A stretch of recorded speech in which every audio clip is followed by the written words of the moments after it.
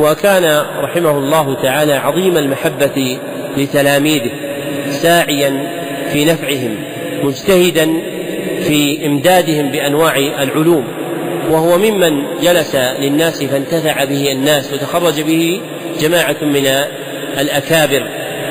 وقد كتب إليه الملك عبد العزيز بن سعود رحمه الله تعالى كتابا يستدعيه فيه ليوليه القضاء في مدينة الرياض. وكان هو من أحق الناس بها بعد وفاة شيخه سعد بن حمد بن عتيق سنة تسع وأربعين بعد الثلاثمائة والألف.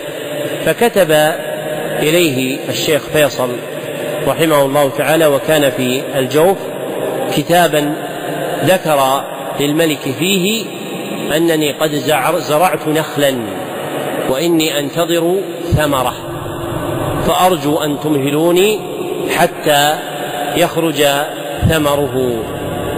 فاستغرب الكتاب من فحوى الرسالة ومضمنها.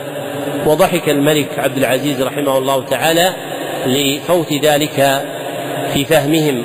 وقال إن الرجل يذكر أن له تلاميذ لم يكتمل تحصيلهم فهو لا يريد أن ينتقل الرياض حتى يخرج أثر التحصيل عليهم. وهذا آخر البيان على هذه الجملة من الكتاب وبالله التوفيق.